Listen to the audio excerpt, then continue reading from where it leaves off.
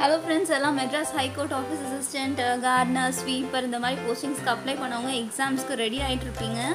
எக்ஸாமுக்கு இன்னும் ஒரு நாள் தான் இருக்குது ஸோ ஒரு சில செலக்டட் கொஸ்டின்ஸ் பொது தமிழ் நான் ஏற்கனவே சிக்ஸ்த்து செவன்த்து எயித்துக்கு என்னோட சேனலில் ப்ரீஃபாக கொஸ்டின் ஆன்சர்ஸ் போட்டிருந்தேன். இப்போ அதிலிருந்து செலக்டட் கொஸ்டின்ஸ் இந்த கொஸ்டின்ஸ்லாம் ரொம்ப முக்கியமாக படுது. ஸோ இதை வந்து நம்ம ரிவைஸ் பண்ணால் யூஸ்ஃபுல்லாக இருக்கும் அப்படின்னு நான் நினைக்கிற ஒரு சில கொஸ்டின்ஸை நான் உங்களுக்கு இந்த வீடியோவில் ஷேர் பண்ணியிருக்கேன். இந்த வீடியோவோட பிடிஎஃப் வேணும்னா என்னோட டெலிகிராம் சேனலை சப்ஸ்கிரைப் பண்ணுங்கள் டெலிகிராம் சேனலோட லிங்க் கீழே டிஸ்கிரிப்ஷன் பாக்ஸில் கொடுத்துருக்கேன். ஸோ இது வந்து பார்ட் டூ ஏற்கனவே பார்ட் ஒன் சொல்லி ஜிகே பொது தமிழ் எல்லாம் கலந்து ஒரு வீடியோ போட்டிருந்தேன். சரி வாங்க ஃப்ரெண்ட்ஸ் வீடியோக்குள்ளே போகலாம் தகவல் தொடர்பு முன்னேற்றத்தால் எது சுருங்கி விட்டது வானம் சுருங்கி விட்டது அதாவது தொலைவில் இருக்கவங்க கூட நம்ம சீக்கிரமாக தொடர்பு கொள்ள முடியுதுன்றது தான் இங்கே வானம் சுருங்கி விட்டதுன்னு கேட்டு சொல்லியிருப்பாங்க செந்தமிழ் என்னும் சொல்லை பிரித்தெழுத கிடைப்பது செம்மை கூட்டல் தமிழ். மை இருக்கு அது திரிஞ்சு இந்தா மாறி வரும். தொன்மை என்னும் சொல்லின் பொருள் பழமை. இடப்புறம் என்னும் சொல்லை பிரித்தெழுத கிடைப்பது இடது கூட்டல் புறம். நீங்க இடம் கூட்டல் புறம்னு போடக்கூடாது அது தப்பு. இடது கூட்டல் புறம். தமிழ் மொழி போல் இனிதாவது எங்கும் காணும் என்று பாடியவர் பாரதியார். தமிழ் மொழி போல் இனிதாவது எங்கும் காணும்ன்ற பாட பாடியது யாரு? பாரதியார். மா என்னும் சொல்லின் பொருள் விலங்கு. மான்ற சொல்லோட பொருள் என்னது? விலங்கு. தமிழில் நமக்கு கிடைத்துள்ள மிக பழமையான இலக்கண நூல் தொல்காப்பியம். பழமையான தமிழ் இலக்கண நூல்னா அது என்னது? தொல்காப்பியம். தமிழ்ல முதல்ல நமக்கு கிடைச்ச நூலும் தொல்காப்பியம் தான் தமிழ்ல முதல்ல எழுத்துல கிடைச்ச நூல் தொல்காப்பியம் அதுதான் முதல் இலக்கண நூலும். மொழியை கணினியில் பயன்படுத்த வேண்டுமெனில் அதில் டேஷ் அடி அடிப்படையில் வடிவமைக்கப்பட வேண்டும். நம்ம இப்போ தமிழ் இங்கிலீஷ் இதெல்லாம் கம்ப்யூட்டரில் யூஸ் பண்ணுறோம் அப்படின்னா அது எந்த அடிப்படையில் இருக்கணும்னு கேட்குறாங்க மொழியை கூட எண்களின் அடிப்படையில் மாற்றி தான் கணினியில் யூஸ் பண்ண முடியும். அப்போ எண்கள் நம்பர்ஸாக மாற்றணும் உயிரெழுத்தில் தொடங்கும் இரண்டு மாத்திரை அளவுள்ள சொல் அது. இரண்டு மாத்திரை அளவுள்ள ஓரெழுத்து சொல் தீ ஆயுத எழுத்து இடம்பெறும் இரண்டரை மாத்திரை அளவுள்ள சொல் அஃது. பழமொழியின் சிறப்பு டேஷ் சொல்வது பழமொழியோட சிறப்பு என்னதுன்னா சுருங்க சொல்வது பெரிய விஷயத்த சின்னதா சொல்றது தான் பழமொழி. நோயற்ற வாழ்வை தருவது சுத்தம். இப்போ நம்ம ரொம்ப தெரிஞ்சுக்க வேண்டியது சுத்தமாக இருந்தால் எந்த விதமான நோயும் வராது. உடல் ஆரோக்கியமே டேஷுக்கு அடிப்படை. உழைப்புக்கு அடிப்படை. நல்லா உழைக்கணும்னா முதல்ல எப்படி இருக்கணும்? உடம்பு ஆரோக்கியமாக இருக்கு இருக்கணும். கழுத்தில் சூடுவது தார். ஒவ்வொரு மேகலை அப்படின்றது இடுப்பில் சூடுவாங்க. அது மாதிரி கழுத்தில் சூடுற அணிகலனோட பேர் என்னது? தார். வெண்குடை என்னும் சொல்லை பிரித்தெழுத கிடைப்பது வெண்மை கூட்டல் குடை. வெண்மை. அங்கே நம்ம பார்த்தோம் இல்லையா? செம்மை. அது மாதிரி வெண்மை. இந்த மை வந்து திரிஞ்சு அது எதுவுமே வரலைங்க வெண் கூட்டல் வெண்குடைன்னு வந்துடுது பொற்கோட்டு என்னும் சொல்லை பிரித்தெழுத கிடைப்பது பொன் கூட்டல் கோட்டு. இப்போ பொற்கூட்டல் கோட்டுன்னு போடக்கூடாது. அது தப்பு. இன் வந்து இங்கே இர்ரா திரிஞ்சு வந்திருக்கு. கிணறு என்பதை குறிக்கும் வேறு சொல் கேணி. சித்தம் என்பதன் பொருள் உள்ளம். பறவைகள் இடம்பெயர்வதற்கு டேஷ் என்ற பெயர் வலசை போதல். பறவைகள் இந்த சீ சீசன்ஸ் மாறுறப்ப ஒரு கண்ட்ரிலேருந்து இன்னொரு கண்ட்ரிக்கு பறந்து வருது இல்லையா? வேடந்தாங்கல் போய் இங்கே வரும். அதுக்கு என்ன பேர்? வலசை போதல். இந்தியாவின் பறவை மனிதர் டாக்டர் சலீம் அலி. டாக்டர் சலீம் அலியா பேர்ட் மேன் ஆஃப் இந்தியா இந்தியாவின் பறவை மனிதர்னு சொல்லுவாங்க. உயிரெழுத்துக்கள் பனிரெண்டு மெய்யெழுத்துக்கள் பதினெட்டு ஆகிய முப்பது எழுத்துக்களையும் என்னன்னு சொல்லுவாங்க? முதல் எழுத்துக்கள்னு சொல்லுவாங்க. உயிர் எழுத்துக்கள் பன்னிரெண்டு மெய் எழுத்துக்கள் பதினெட்டு இது ரெண்டுத்தையும் சேர்த்தா முப்பது. இது முப்பது எழுத்துக்களையும் முதல் எழுத்துக்கள் அப்படின்னு சொல்லுவாங்க.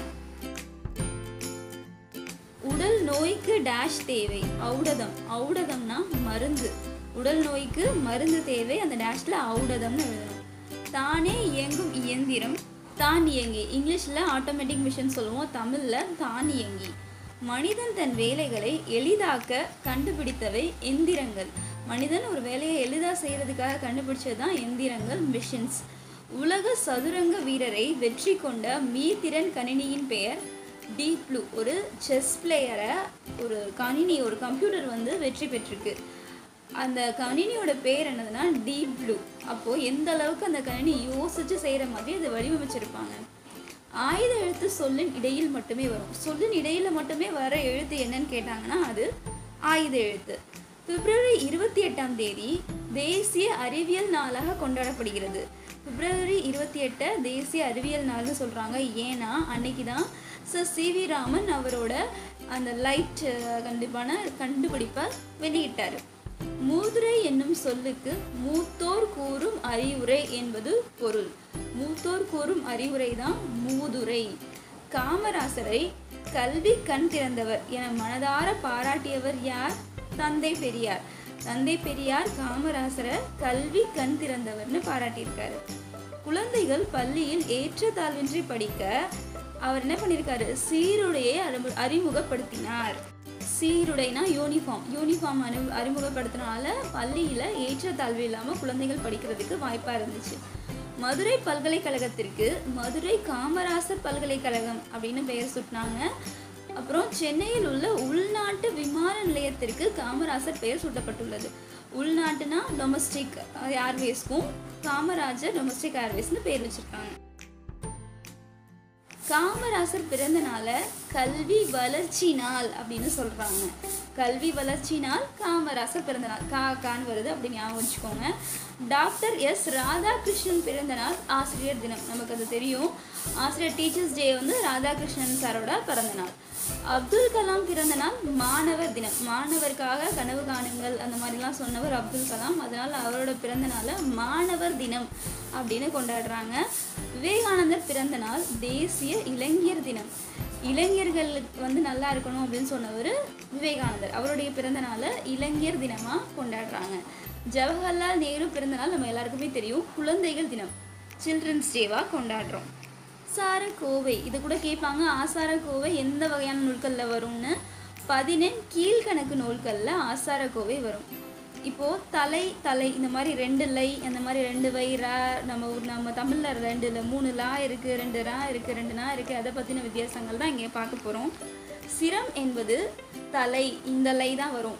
இலைக்கு வேறு பெயர் தலை அதுக்கு இந்த லை போடணும் தலை. வண்டி இழுப்பது காலை.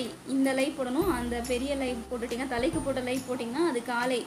பொழுதாயிடும். இன்னைக்கு காலையில் அப்படின்னு சொல்லுவோம் இல்லையா? அந்த மாதிரி ஆகிடும் கடலுக்கு வேறு பெயர் பறவை. இந்த ரா போடணும். வேற ரா போட்டிங்கன்னா அது என்ன ஆகிடும் வானில் பறக்கிற பறவை. பறவை பறக்குதுன்னு சொல்லுவோம்ல அது மாதிரி ஆகிடும் பறவை வானில் பறந்தது. பறவைக்கு வர அதே ரா தான் பறந்ததுக்கும் வரணும்.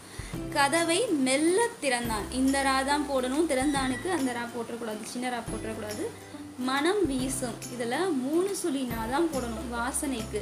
ரெண்டு சுழி நா போட்டால் அது மனசு மனம் அந்த மாதிரி ஆகிடும் புலியின் கண் சிவந்து காணப்படும். கண்ணுனாவே நம்ம ரெண்டு சுழின்னு தான் போடுவோம். குழந்தைகள் வந்து விளையாடினர். இன்னு போட்டக்கூடாது இந்து போட்டு எழுதணும். வீட்டு வாசலில் கோலம் போட்டனர். கோலத்துக்கு தலை நம்ம பார்த்தோம் இல்லையா சிரம். அந்த லா தான் போடணும். வேற லா போட்டிங்கன்னா கோலம் அப்படின்னா உருண்டை பூலோகம் அந்த மாதிரி ஆயிடும். வீட்டு பயன்பாட்டிற்காக பொருள் வாங்குபவர் நுகர்வோர். நுகர்வோர்னு சொல்லுவோம் தேசம் உடுத்திய நூலாடை என கவிஞர் குறிப்பிடும் நூல் திருக்குறள். திருக்குறளில் தேசம் உடுத்திய நூலாடைன்னு சொல்லியிருக்காங்க. காளிதாசன் தே தேனிசை பாடல்கள் எதிரொலிக்கும் இடம் காவிரி கரை காவிரி கரையில தான் காளிதாசனோட தேனிசை பாடல்கள் எதிரொலிக்கும் அப்படின்னு ஒரு உவமையாக சொல்லியிருக்காங்க. தாராபாரதி பெற்ற அடைமொழி கவி ஞாயிறு.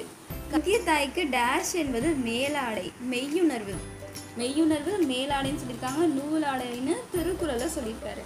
காந்தியடிகளிடம் உடை அணிவதில் மாற்றத்தை ஏற்படுத்திய ஊர் மதுரை. காந்தியடிகள் மதுரைக்கு போனப்போ அங்கே இருக்கிற விவசாயிகளை பார்த்து தான் அவரோட ட்ரெஸ்ஸை வந்து மாற்றிக்கிட்டாரு அதாவது நான் வந்து ஒரு வேஷ்டி தான் கட்டுவேன் ஒரு துண்டு தான் போடுவேன்ற முடிவை அவர் மதுரையில் தான் எடுத்தார். காந்தியடிகள் எந்த பெரியவரின் அடிநிழலில் இருந்து தமிழ் கற்க வேண்டும் என்று விரும்பினார்? ஊவே சா ஊவே சாமிநாத ஐயர். நமக்கு எல்லாருக்கும் தெரியும் அவரை தமிழ் தாத்தான்னு கூப்பிட்டாங்க. அவர் பழைய தமிழ் சுவடிகள் எல்லாம் சேகரித்து தமிழை வளர்க்கணும் அப்படின்னு சொல்லி நிறைய முயற்சி எடுத்தார். அவரோட அடியிலிருந்து க தமிழ் கற்கணும்னு காந்தியடிகள் விரும்பியிருக்காரு. தாய்மானவர்கள் பாடல்கள் டேஷ் என போற்றப்படும். தமிழ் தாய்மானவரோட பாடல்களை தமிழ் மொழியின் உபநிடதம் அப்படின்னு சொல்லியிருக்காங்க. தமிழ் மொழியின் உபநிடதம்னு தாயுமானவர் பாடல்களை சொல்லியிருக்காங்க. இரண்டு அடிகளில் பாடப்படும் பாடல் வகை கன்னி. இரண்டு அடிகளில் பாடுறது ரெண்டு ரெண்டு மலராக வச்சு கட்டுற மலை மாலையை கன்னின்னு சொல்லுவாங்க. அது மாதிரி ரெண்டு ரெண்டு அடியாக பாடுற பாட்டை கன்னி அப்படின்னு சொல்லியிருக்காங்க. மணிமேகலை கையில் இருந்த அமுத சுரபியில் உணவு இட்ட பெண் முத முதல்ல அமுத சுரபியில் உணவு இட்ட பெண்ணோட பேர் என்னது? ஆதிரை. என்ன பண்ணியிருக்காங்க? அவங்க மணிமேகலை கையில் இருந்த அமுத சுரபியில் உணவு இட்டிருக்காங்க. புத்தரின் வரலாற்றை கூறும் நூல் ஆசிய ஜோதி. ஃப்ரெண்ட்ஸ் இந்த கொஸ்டினோட பிடிஎஃபை நான் என்னோட டெலிகிராம் சேனலில் அப்லோட் பண்ணுறேன் டெலிகிராம் சேனலோட லிங்க்கை கீழே டிஸ்கிரிப்ஷன் பாக்ஸில் கொடுக்குறேன்.